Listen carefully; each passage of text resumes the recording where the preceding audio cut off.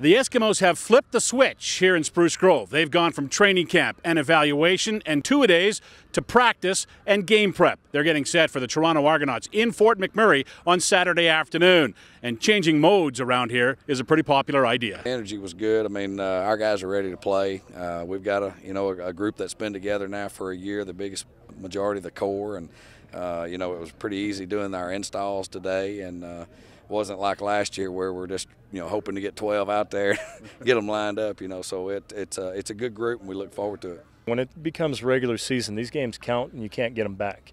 Um, you know, we know very well that you can start out hot or start out slow, and that changes how difficult the rest of the season is going to go. So, um, you know, we want to get off on the right foot, and uh, you know, it's still the same venue in terms of being in Spruce Grove, but it's a different feeling. There's no doubt about it. It's more intense.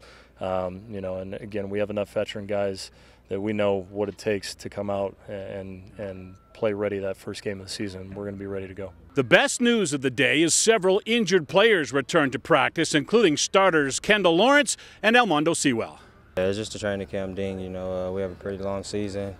You know, a lot of games in a row after that bye week, so you know it was better to just kind of sit out and just uh, just get well for the first first game. I mean, it's tough to sit out any any game. You know, any practice game. You know, it's, it's we have a love for this game, and uh, we wouldn't we rather we wouldn't be doing anything else. So uh, it's kind of tough.